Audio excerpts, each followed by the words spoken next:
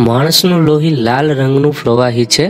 તેમાં પ્લાઝમા સફેદ કણો અને લાલ કણો હોય છે. લોહીમાં ચોપન ટકા પ્લાઝમા છે.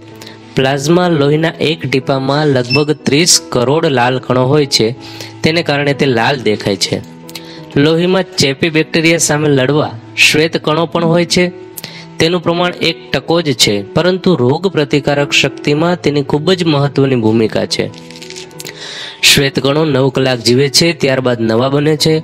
લાલ કણોનું મુખ્ય કામ શરીરને ઓક્સિજન આપી કાર્બન ડાયોક્સાઇડ મેળવવાનું છે. લાલ કણ એકસો વીસ દિવસ જીવે છે, તે શરીરને ઓક્સિજન અને શક્તિ પૂરી પાડે છે. નાશ પામેલા લાલ કણોની જગ્યાએ નવા ઉમેરાતા રહે છે.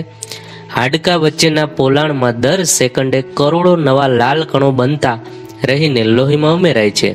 લોહીમાંના શ્વેત અને રક્ત કણો બરોડમાં નાશ પામે છે.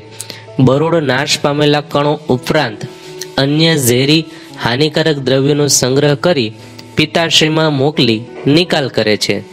લોહીમાં લાલ અને સફેદ કણ ઉપરાંત પ્લેટલેટના કણો પણ હોય છે.